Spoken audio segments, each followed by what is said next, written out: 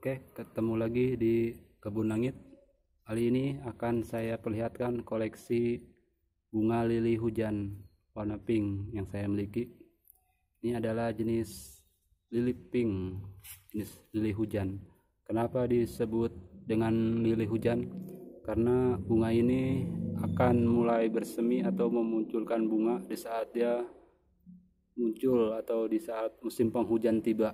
Contohnya seperti saat ini, dia mulai mengeluarkan bunga di saat awal musim penghujan. Akan saya perlihatkan bagaimana cara memperbanyak dan menanamnya, bagaimanakah dan cara merawatnya. Saksikan terus Kebun Langit.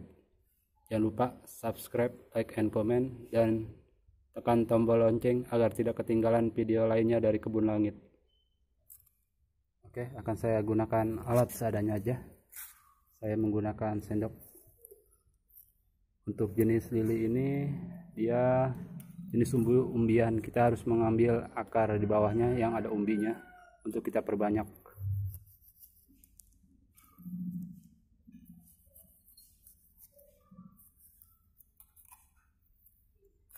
Pertama kita menggunakan sendok dulu, kita potong akarnya agar akarnya bisa tercabut dan umbinya pun tidak terputus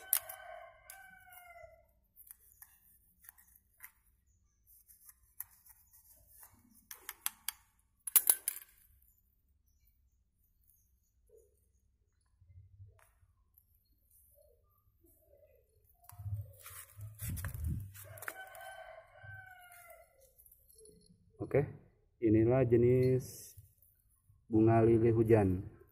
Seperti inilah bagian bawahnya. Inilah yang akan kita perbanyak nantinya. Ya umbinya sendiri mirip seperti bawang. Akan saya perlihatkan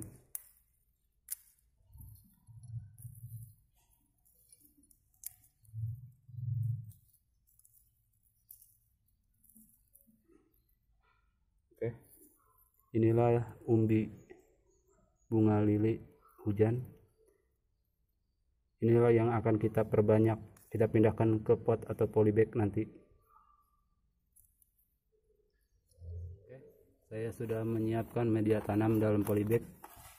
Terdiri dari tanah dan sekam padi mentah yang saya aduk. Ini bisa menggunakan polybag ataupun pot. Saya menggunakan polybag karena rencana akan saya jual. Karena ada toko kecil-kecil depan rumah untuk saya jual. Oke langsung saja seperti ini